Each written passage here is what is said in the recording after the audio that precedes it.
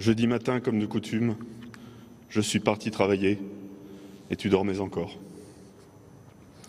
Nous avons échangé au fil de la journée sur notre projet de vacances dans un pays si lointain que tu m'avais dit très impatient et que tu n'avais jamais été aussi loin. Les détails de visa, nos préoccupations d'hébergement envahissaient nos messages d'une frénésie d'autant plus joyeuse que nos billets d'avion étaient réservés depuis mardi. Tu as pris ton service à 14 heures dans cette tenue de maintien de l'ordre dont tu prenais tant soin parce que ta présentation devait être irréprochable. Tes camarades et toi avaient reçu la mission, la mission de rejoindre le commissariat du 8e arrondissement où vous deviez, comme si souvent, assurer la sécurité du public sur cette belle avenue des Champs-Élysées.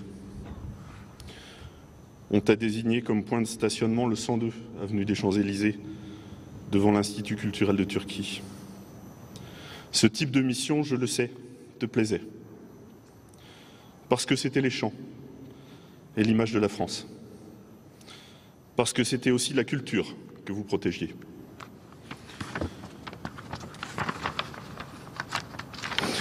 À cet instant, à cet endroit, le pire est arrivé.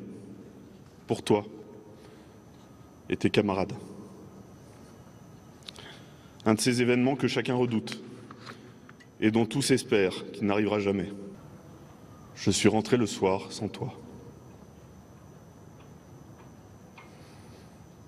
Avec une douleur extrême et profonde qui s'apaisera peut-être un jour, je l'ignore. Cette douleur m'a donné le sentiment d'être plus proche que jamais de tes camarades qui souffrent, comme toi silencieusement, comme moi silencieusement. Et pour ce qui me concerne, je souffre sans haine. Lorsque sont parus les premiers messages informant les Parisiens qu'un événement grave était en cours sur les Champs-Élysées et qu'un policier avait perdu la vie, une petite voix m'a dit que c'était toi, et elle m'a rappelé cette formule généreuse et guérisseuse. Vous n'aurez pas ma haine. Cette haine, Xavier, je ne l'ai pas parce qu'elle ne te ressemble pas.